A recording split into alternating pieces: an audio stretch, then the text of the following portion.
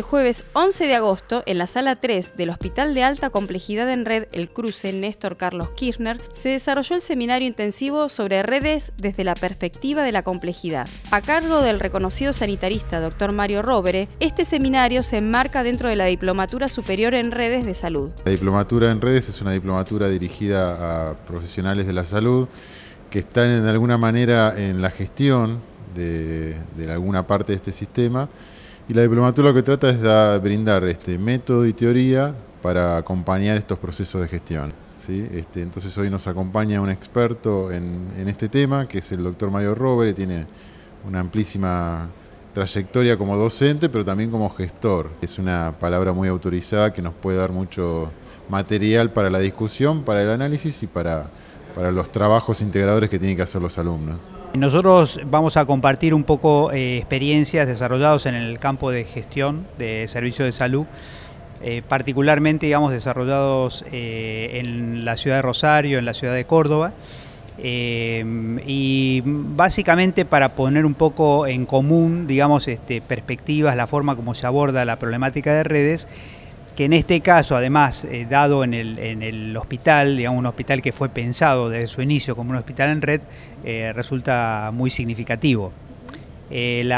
desde el punto de vista de la... Nosotros tuvimos la oportunidad, digamos, este es la segunda vez, digamos, que encaramos este tema y la experiencia que tuvimos ya el año pasado, digamos, fue una reacción muy importante de los profesionales de salud porque nos da la posibilidad de optimizar los recursos que tenemos, que a veces están muy tabicados, muy fragmentados, digamos, entonces la posibilidad de conectar eh, los, servicios entre sí, muy particularmente digamos, los servicios eh, que son de distintas jurisdicciones, como provinciales, municipales o nacional, digamos, este, resulta produce, digamos, como una sinergia, digamos, entre todos esos recursos que naturalmente son en beneficio de la población. Esta actividad fue organizada por el Hospital de Alta Complejidad en Red, el Cruce Néstor Carlos Kirchner y el Instituto de Ciencias de la Salud de nuestra universidad. El lunes 8 de agosto se llevó a cabo en la sala del Consejo Superior de nuestra universidad la charla debate sobre las perspectivas y los desafíos para el trabajo en Brasil y sus repercusiones en América Latina lo que nos dedicamos es a estudiar las transformaciones acaecidas en el mundo del trabajo en las últimas décadas, la reestructuración productiva y específicamente enfocamos eh, la precarización resultante de los procesos de tercerización, de subcontratación y de fragmentación de la producción. Entonces lo que tratamos de eh, seguir es son las consecuencias sociales que tiene la dinámica de la tercerización en eh, distintos países de la región y específicamente en la Argentina. Es una forma de buscar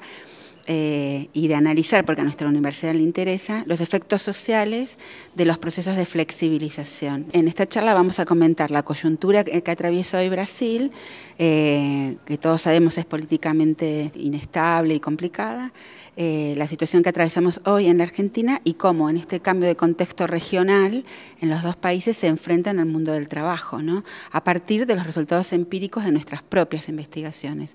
Lo que estamos hablando aquí es un poco sobre los resultados de una investigación conjunta que tenemos entre la Universidad de Arturo Jareche y la Universidad de Campinas y también la Universidad de San Carlos, porque eh, es un convenio que tenemos que está coordinado por Andrea Del Bono por la parte argentina y por mí eh, en la parte brasileña que es un proyecto de comparación entre Brasil y Argentina, teniendo como foco central la cuestión de la tercerización, de la subcontratación de los trabajadores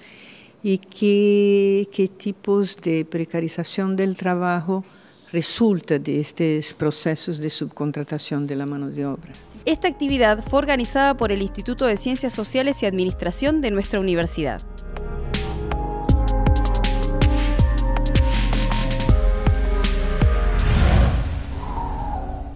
Nuestra universidad sigue recibiendo estudiantes que provienen de diferentes partes del mundo. Este segundo cuatrimestre se suman cinco estudiantes del Instituto Politécnico Nacional de México. Llegué la semana pasada y tengo altas expectativas de la universidad. Tengo a cursar ingeniería en informática, algunas materias ya de cuarto y tercero. Son las últimas para mí y sinceramente espero que me ayuden en mi tesis de allá de México. Y, este, y pues nada, agradecida por el intercambio y la oportunidad de traernos un poco de allá para acá y seguir haciendo algo en grande.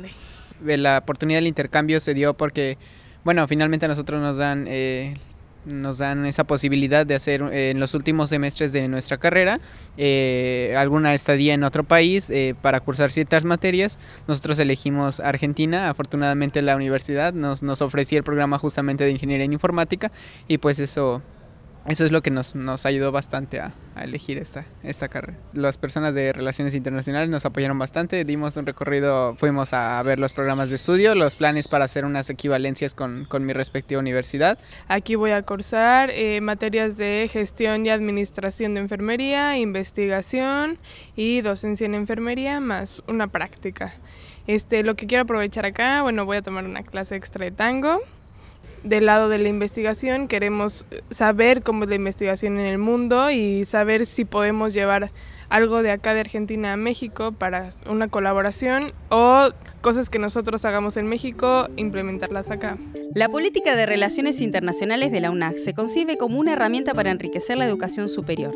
El intercambio cultural y académico contribuye a la formación de nuestros alumnos, así como estos visitantes disfrutan, conocen y difunden nuestra universidad cuando vuelven a sus países.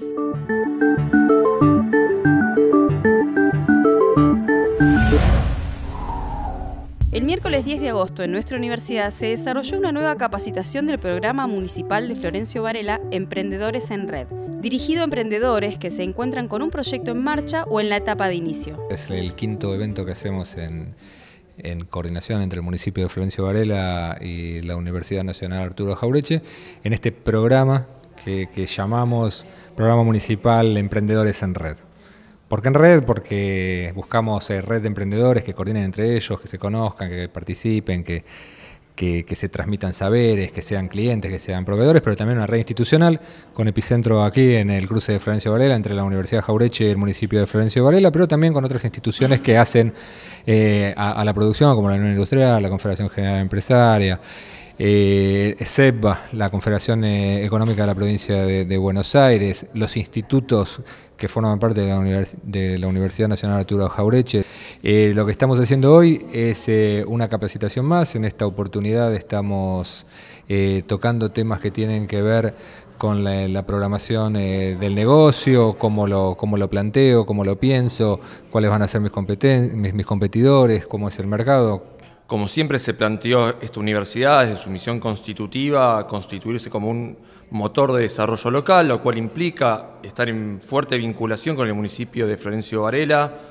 que vio nacer a la universidad en un trabajo conjunto y con ese espíritu siempre trabajamos con todos los actores locales vinculados a la producción, porque creemos que el municipio va a crecer si se fortalecen los actores productivos de, la región y promueven más oportunidades para los emprendedores locales. Nosotros consideramos que el emprendedor no es solamente una persona con competencias personales o con una personalidad determinada, sino que además requiere de un contexto en el cual los, los componentes del sistema de innovación y del sistema productivo local son fundamentales y la universidad tiene que constituirse como un centro dentro de esos, de esos actores que gire y que forme parte de una red tan importante como esta. Esta actividad fue organizada por el Instituto de Desarrollo Local de la Municipalidad de Florencio Varela y nuestra universidad.